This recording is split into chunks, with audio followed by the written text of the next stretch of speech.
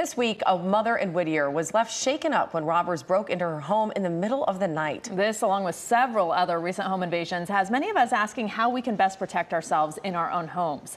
Joining us now to talk more about this is Don Moore. He's the president of Moore Protection Home Security, also a certified protection professional. Uh, welcome. Thanks so much for being with us. Good morning. Thank you. So let's just get right to it. What is the number one thing you as a homeowner can do to avoid being a victim of a home invasion, as, especially given that a lot of these home invasions, the, the robbers seem to be disabling the security systems? Uh, disabling security systems is somewhat of a myth. Very inexpensive Wi Fi reliant systems can be disabled, but a traditional hardwired security system is very difficult to disable. But not everyone can afford an alarm system. There are many common sense things that you can do around your house to harden the target. Harden the target is a trite phrase. What it means is just make it harder for a bad guy to get into your house. And the easiest way I think to do that is to go outside and pretend you blocked your keys inside. Hmm. How how would you get into the house? You're going to look for the easiest way. You're going to look for the way that the neighbors won't see you so you won't be embarrassed. A bad guy's going to look not want to be seen by the neighbors for obvious reasons. So you're going to know if there's a window in the back that doesn't quite lock well enough. You know where that is. He'll find it. The bad guy will find the soft spot. So walk around your house and find those soft spots and physically strengthen them, whether it's with screws or nails or window pins or what have you. It doesn't have to be an expensive solution.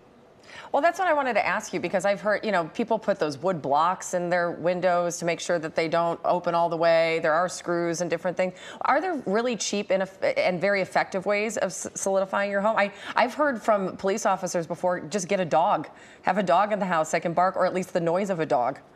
Well, a, a dog, a territorial dog, is good for home security when you're at home because if someone's skulking around the outside of the property, the dog will sense it and start barking, and the, the person outside will hear it and probably leave. Dogs are not great to prevent empty home burglaries because burglars don't care about dogs. They'll break in anyway, unless it's a really professionally trained attack dog.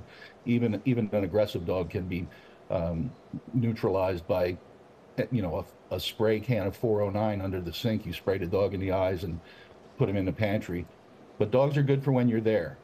But to your point about hardware things, hardware is the answer. Go to a hardware store, and the, most of them will have a security aisle. You can find window pins and uh, bully locks that keep sliding windows from opening. They look like the things that jewelers use on their on their display cases. There's a hundred things you can do around your home that don't cost a lot, and if you do 50 of them and your neighbor does none, the neighbor's going to get hit. So, you know, it's, it's like everything else in society. Take care of yourself first and then help your neighbors and go out in concentric circles. You know, after your home is secured to your satisfaction, start a neighborhood watch if there isn't one already. If there is one already, join and get active and get your neighbors to be aware of what's going on in the neighborhood. And you can push crime away. And before we let you go, what if you do find yourself in the middle of a home invasion? What's your advice? Well, I would back up and say let's not get in the middle of a home invasion by making it hard for somebody to come in. I also recommend that everyone, like a fire drill, do a home invasion drill. Mm. And what, whether you're a single person or a family, coach everyone into what they will do if you hear voices in the house when there shouldn't be voices in the house, or if you hear breaking glass, what are you going to do? A simple solution is for every master bedroom door to have a deadbolt lock on it. So you, you create somewhat of a panic room without all the expensive steel doors and magnetic locks. But if you're in the middle of a home invasion, it depends on what the perpetrator is acting like. If he's calm and just wants stuff, then cooperate. If he looks like he could be violent, you got to be prepared to defend yourself. These are all such common sense things, but I think it's really important to reinforce. Don, thank you so much for being with us this morning. We appreciate it.